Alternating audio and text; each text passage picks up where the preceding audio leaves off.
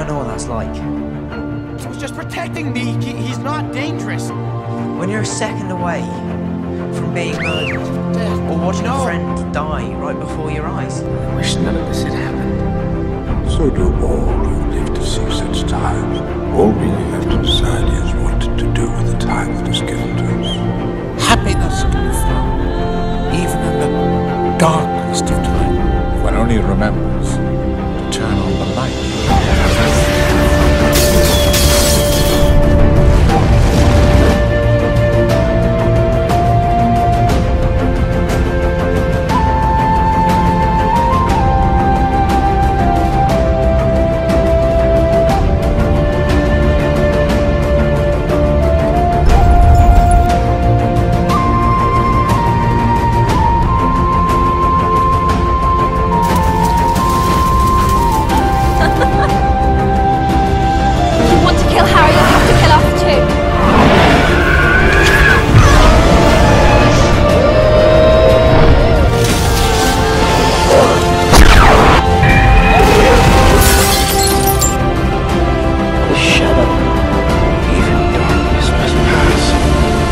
Day will come.